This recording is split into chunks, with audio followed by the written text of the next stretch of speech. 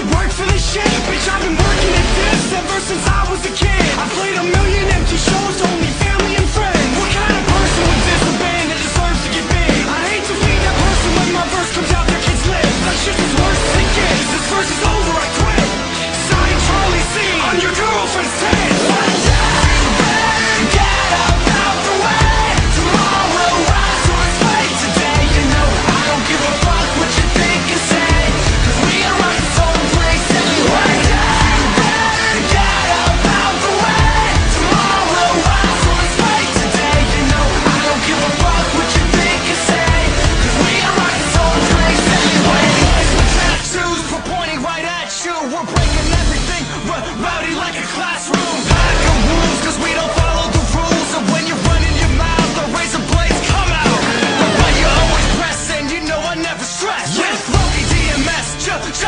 one left.